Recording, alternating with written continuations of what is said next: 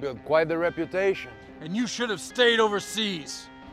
I thought about it, but then I remembered.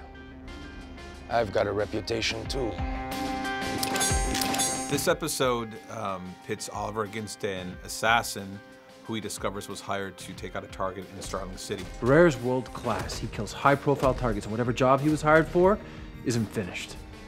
We need to figure out who he was here to kill and fast. They are probably still in danger. Oliver's in a race to find out who that target is before another assassin gets there first. Hello, Lawton. I see your edge has dulled. Oh, I knew you were there. I just didn't care if you killed me. One of the things I'm really excited about this episode is that Deadshot's back. And Deadshot is a huge character in the comic books. He is uh, one of my favorite characters from the Suicide Squad.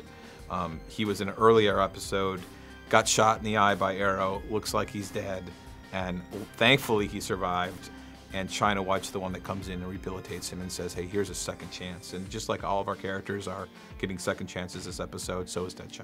So, who needs two bullets in the chest? Deadshot's return obviously is going to impact Diggle in a major way. Deadshot was responsible for the death of his brother, and Diggle was uh, uh, believing that Deadshot was dead.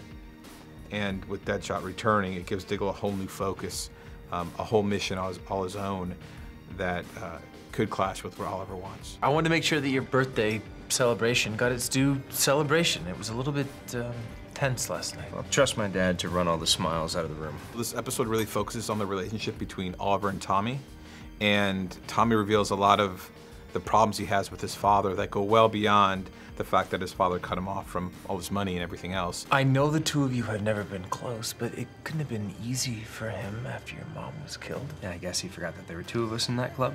I think Tommy sees Oliver as family more than he sees his own father as family. And now this episode's going to challenge all of that. So there's a lot of references to comic book stuff. If you're a DC fan, you'll see Deadshot, China White, uh, the Merlyns, Green Arrow, um, Dinah Lance. I don't know why my father bought her that canary. That thing chirped night and day, drove us all nuts. There's some references in there that aren't just Easter eggs, but actually plant seeds that are foreshadowing the events to come, the events that happened. And uh, again, for a DC Comics fan, uh, you'll catch them right away.